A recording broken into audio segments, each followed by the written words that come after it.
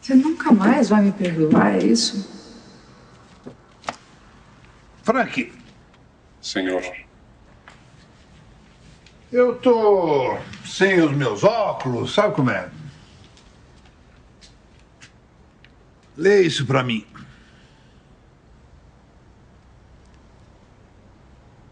Frank, é o dossiê de Dona Hélia, senhor. E daí? Tem certeza de que quer saber o que está escrito? Meta-se com a sua vida e faça o que eu disse. Anda! Tô pronto pra tudo.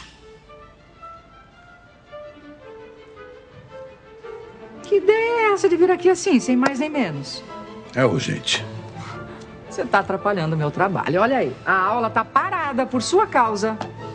Que foi? Ficou mesmo louco, foi? Eu? Louca ficou você. Por que, que você escondeu de mim que o Zeca é nosso filho?